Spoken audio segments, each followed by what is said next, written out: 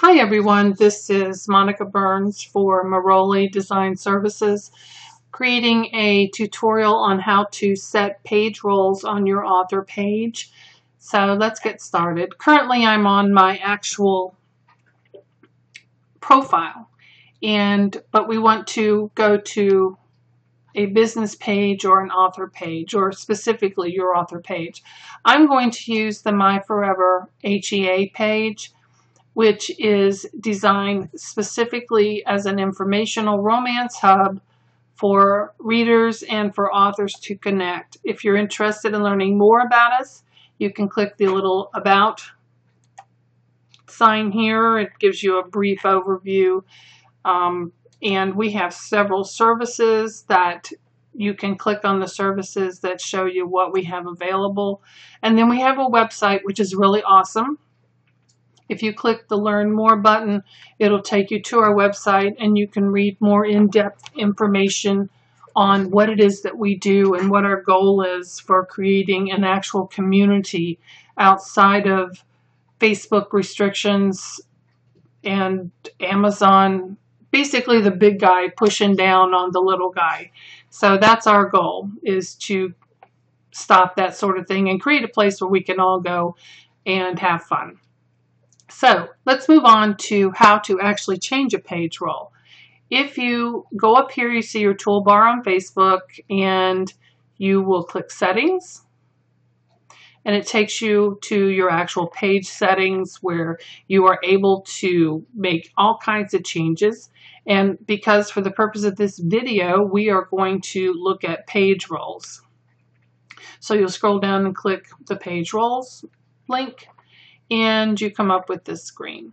Now currently I'm going to be using Kathy because Kathy is who has the profile in order to run our scheduling service for social media for Maroli Design Services. So you're going to be typing in her name here, but this is appropriate for adding any individual that you might want to moderate your page. If you have another personal assistant that you want to be able to have answer comments or so forth, you can add them as well.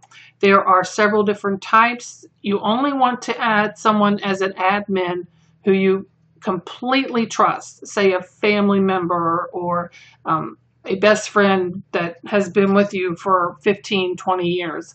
Um, this is a very high rights. It gives you rights to do basically anything to your page. The editor is going to be able to do almost everything the admin can do with the exception of doing any real damage. So the descriptions of what the individual can do are directly underneath um, like in this area. So an edi editor can send messages and publish as the page, respond, delete comments, um, create ads, etc. There are other items here, moderator, advertiser, analyst, log coordinate, uh, live coordinator. You can go up here and simply type in how does it work and Facebook will take you to a help page for that. But for the purposes of our video today, we're going to be dealing with editors. So in order to create an editor or invite someone in, to be an editor of your specific author page. And for the purposes of this video, it's Kathy for uh, Maroli Design Services. You're going to type in her email, A-T-H-I dot Scearce.